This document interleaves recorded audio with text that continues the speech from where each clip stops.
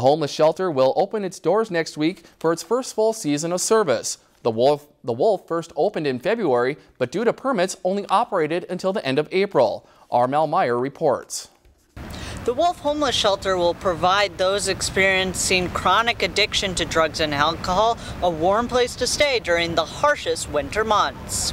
The Nameless Coalition for the Homeless started the project years ago, but plans for the shelter might not have been possible were it not for an anonymous donor two years ago. We were just giddy. It was so great because then it made everything else seem possible to put that with the money we had already raised and to have a huge donation, it just was like, this is going to work. Since then, people have given beds, jackets, towels, and more, including free or reduced prices for space renovations. Um, we still need help with donations and stuff like that, but um, we've been functioning really well, and we really, really appreciate the community support.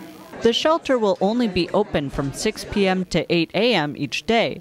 However, the group says the 16 beds fills a critical need of a safe space to sleep for those struggling with addiction. There's shelter for families, there's shelter for people that might not be struggling with that, but again and again we kept coming back to that problem.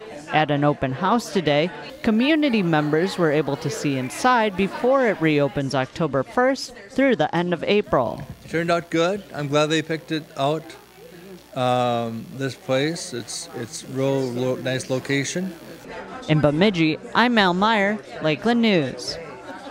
The Nameless Coalition may open the space for meetings or other uses when the shelter is closed during the summer months. If you've enjoyed this segment of Lakeland News, please consider making a tax-deductible contribution to Lakeland Public Television.